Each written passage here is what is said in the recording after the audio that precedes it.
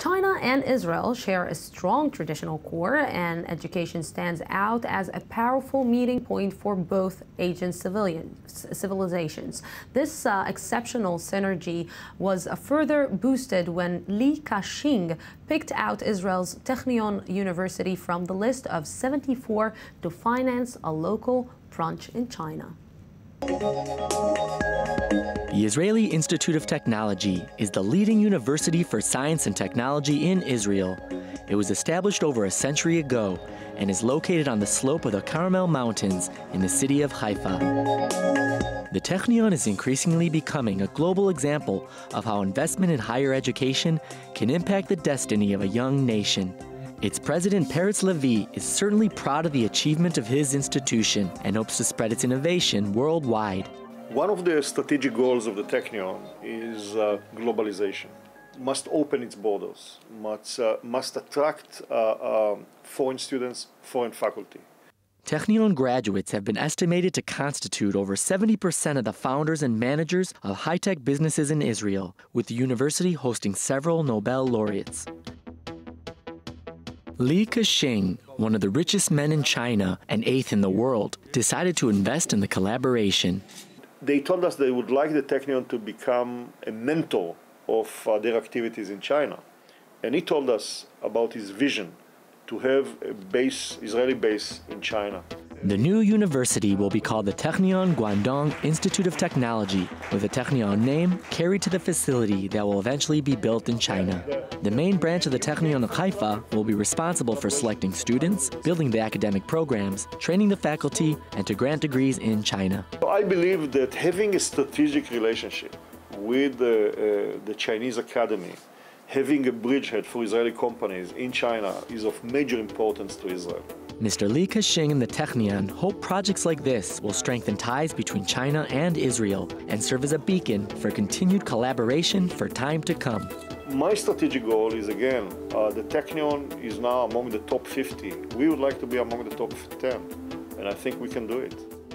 The future of Israel is dependent on uh, technology and science. I have no doubt about it. Mr. Li Ka-shing called the Technion a role model and said in a speech that in a world of fluid boundaries, the transformative power of technology waves like a magic wand, bringing new models and opportunities to many frontiers and generating new solutions to entrenched problems.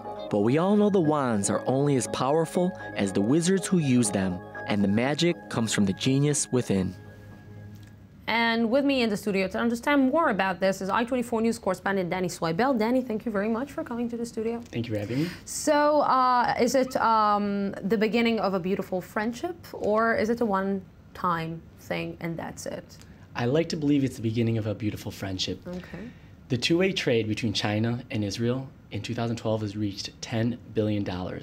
This has risen exponentially since the relations began 21 years ago. Okay. So China is Israel's largest uh, partner in Asia, trading wise, the third largest in the world for Israel. So this is a very big relationship and it's booming. China right now is currently trying to pursue what I call the Chinese dream. They want to be a prosperous society. They want to be an innovative society. They want to be a global leader. And with the Israelis' help, they see themselves as being able perhaps to do yeah, this. Yeah, let's not forget that they're an upcoming power in front of the U.S. Yes. And so it's absolutely. So they see Israel in terms of its research and development. They look at different fields like technology in Israel, uh, sustainability, water, energy, cars, you name it. They see this and they're taking notes. They see this information out there. And then they see companies like Apple and Google and Cisco, and they see them investing a lot of money into Israel. They see Apple opening up a headquarters in Israel. Apple only has headquarters in the United States, so for them to come to Israel, the Chinese are seeing this and they want to get on that bus as well. But you know, I have to understand why should this person invest this huge amount of money specifically in Israel and not somewhere else where maybe he can earn more? Well, Li Ka-shing is actually the third largest philanthropist in the world. Wow. Just behind okay. Bill Gates and Warren Buffett. So he has a lot of money to spend. I think he spent around $10 billion. And he sees Israel as the leaders in, in these, this research and this science.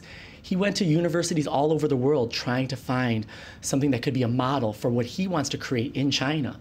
And when he went to the Technion, he was really convinced. And it's kind of funny, just in a, when he was actually heading back to China and he's in a taxi cab, um, the taxi driver actually took out his phone and he was typing in something. And Li Ka-shing asked him, Well, what are you doing?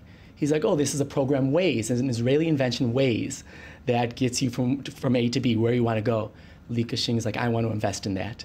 He actually took the profits from that and he invested back into the Technion. He invested in Waze. He invested in Waze, made a lot of money when they got bought up by Google, and he put that money now into Technion. He loves Israeli innovation, and he wants it to be the model and future collaborations with China. Do you think that the problem between uh, the Bank of uh, China can affect, uh, uh and Israel can affect a deal between these two countries? These are definitely things that are going to have an effect. And we don't know how big or small, but we do know that at least private investors will continue to collaborate. People in the technology fields, people in the education fields will continue to collaborate from time to come. That's how I see it. Danny Swibel, thank you very much for this. Thank you.